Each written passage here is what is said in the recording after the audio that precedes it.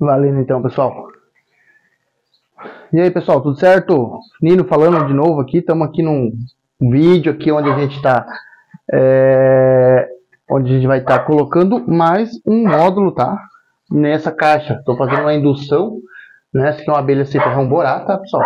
É uma abelha sem ferrão da espécie borá, aquela tetragônica, é, tetragona clavips, tá? É, faz pouco tempo eu coloquei um módulo da caixa Eiretama. Vou colocar mais um agora, vou abrir para ver como é que tá. E se precisar, eu vou colocar um módulo nessa caixa aqui, ó. É, não sei como é se vocês estão me vendo certinho aí, nessa, nessa daqui. Beleza? É, aproveitando aí para quem não é inscrito, já deixa a inscrição aí, deixa o like, que a gente vai mostrar como é que tá dentro. Uma abelha bem forte, se vocês reparar, ela tá com a base, ninho sobre ninho e mais uma melgueira.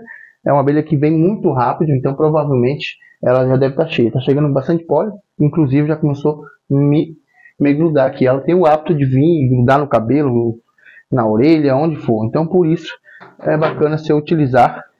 Eu gosto de utilizar aquele de pescador, né, o chapéu de pescador, para evitar que ela venha no olho ou algo do tipo. Vamos ver aqui. Beleza. Né? Vamos dar início ao procedimento aqui. Eu vou colocar ela desse lado aqui. Tomara que a mesa aguente aqui a, a pia. Vamos pegar a bichona aqui porque ela tá pesada. Aí. Vamos ver aqui como é que ela tá. Olha, ela lacrou, galera. Ela lacrou aqui, ó. Olha. Tá lacrado. É. Do jeito que eu imaginava. Se vocês não vão, se vocês vão conseguir olhar. Aqui, cheio.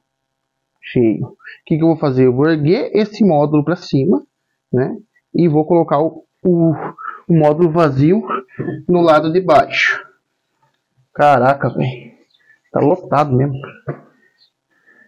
Vamos tirar aqui com todo cuidado. Ó, vou arrancar, vou por aqui. Galera, dá uma olhada. Inclusive tem uma realeira ali, ó. Ela tá subindo a postura aqui em cima. Então vamos terminar logo o procedimento aqui para liberar elas para não estressar tanto. Se vocês olharem a, a, a, os módulos da Iretama, todos os módulos dele vêm como melgueira. Então a gente retira essa parte aqui, ó. Tá vendo? Essa partezinha aqui retira. Então, esse daqui eu vou pôr aqui. O vazio, o, o vazio aqui. Para ela, para induzir ela a subir com a postura. Porque eu, eu quero que ela suba a postura aqui para mim fazer uma divisão. As bichinhas têm umas mordidas doídas. Pensa umas mordidas ardidas. Agora a gente coloca o outro módulo cheio na parte de cima e vamos colocar, olha a tampa aqui como é que elas, né? Elas tampam tudo aqui. Para quem não conhece a caixa eretama, tem um vídeo, tá? Se vocês procurarem no canal, vai ter um vídeo aí onde eu falo sobre a caixa eretama. Tá, vamos ver aqui. Como é ó. Opa, aguenta aí, mesmo.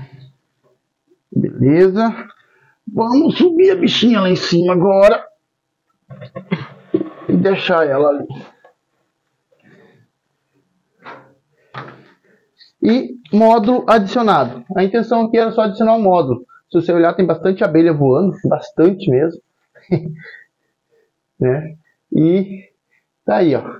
E as grudas, cara. Pensa os bichinhos que grudam.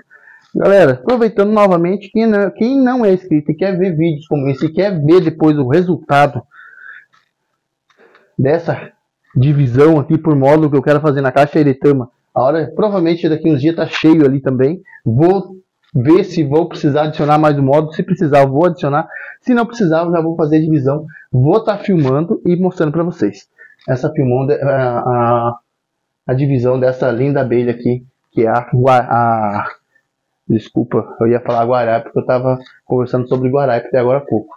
é, essa borazinha aqui. Show de bola.